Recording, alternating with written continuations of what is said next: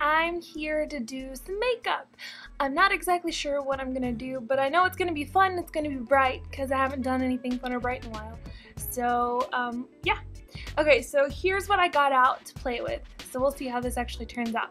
First, I got the matte cream color base in Luna, which is white with like a little bit of sheer um, iridescence in it.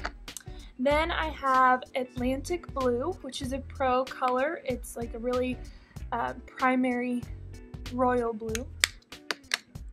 I have Azalea Blush, which is a nice bright pink.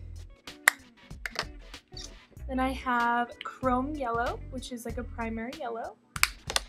And I also have Makeup Forever uh, color number 92, which is a really great purple. It's like the best purple.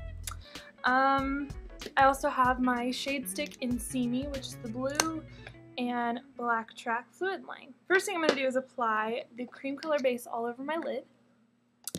So I'm going to do that using a concealer brush, I think.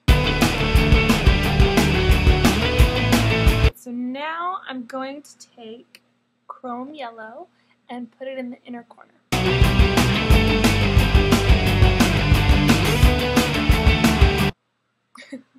okay, now I'm gonna take Azalea, the pink.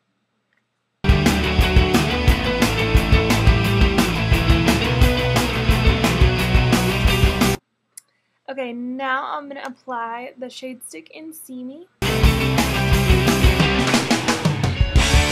Okay, so now I'm gonna apply the Atlantic Blue underneath. Now I'm gonna take my purple color. Just blend that in a little bit too. Okay, now I'm gonna apply the black track fluid line to my upper and lower lashes.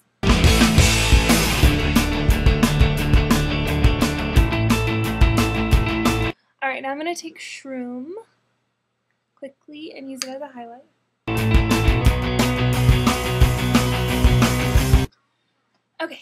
I'm going to quickly go and do my eyebrows real quick. I'm using the Brow Tech Cream Color Palette from Smashbox.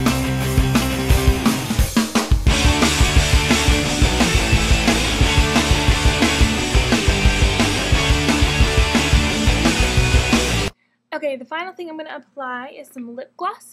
I'm using the Dazzle Glass in Glam OD.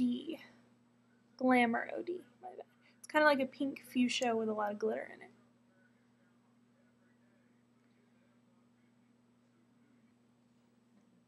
Okay, so that's it.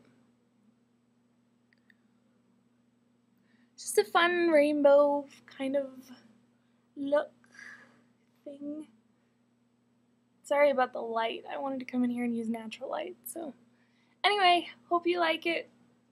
Try to get out of that little thing. All right. See you later.